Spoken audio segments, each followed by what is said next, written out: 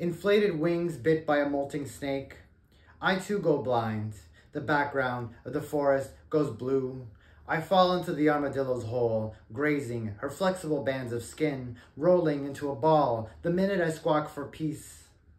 But you can't afford to miss any more fights. Teeth soft and peg-like, the armadillo nips at my neck. Even a blind chicken can see Pinto's white wings grow, since growing feathers reflect on your ultraviolet light cone proliferating colors all the way back to 1519, the Bay of Guanabara.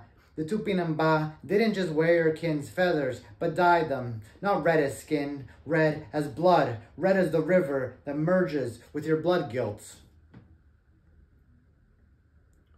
Is there time for us to land softly?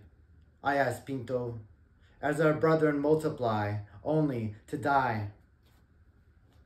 We haven't even taken wing yet, Pinto answers, while methane gas from our chicken shit traps the living inside our animal cloudburst.